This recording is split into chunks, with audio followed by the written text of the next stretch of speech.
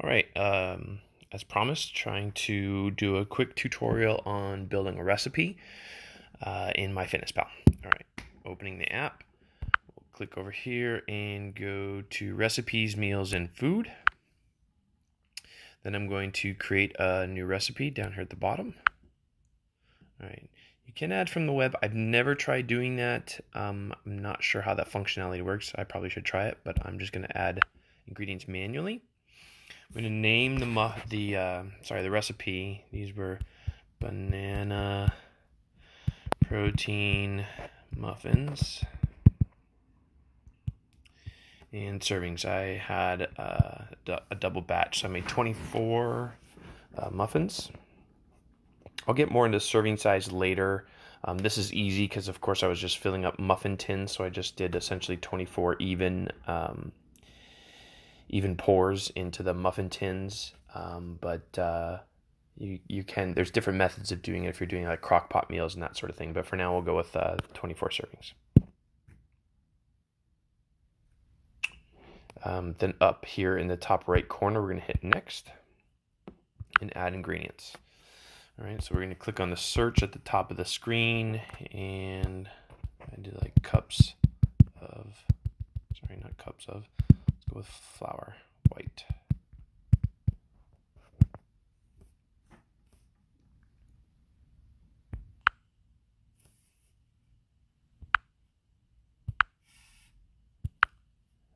Ingredient called for two cups of flour.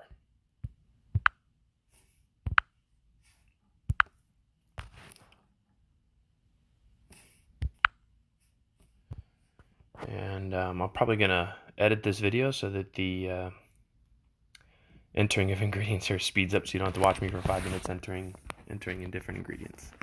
Uh, I'll probably stop talking here too.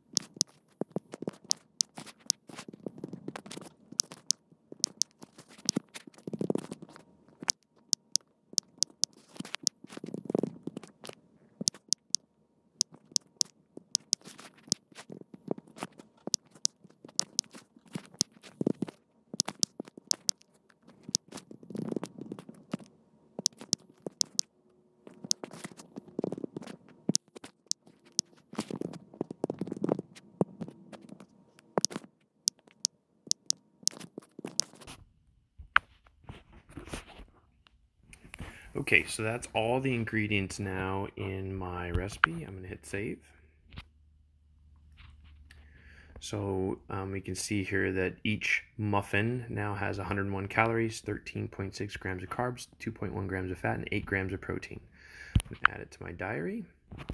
And then up in the right hand corner, just hit the click check mark.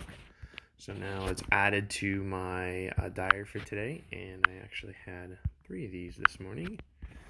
So there we go 24 grams of protein, 6 grams of fat, and 40 grams of carbs.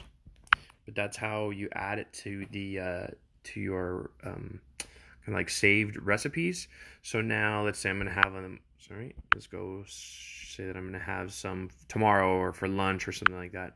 Go to add food and then click over here. We can click on recipes and we'll see that I have my banana protein muffins saved here as well as a couple others that I've made in the past. And it's just an easy way if especially if it's something that you make on a regular basis um, you can just build the foods up in your app over time and um, makes it real easy to add. All right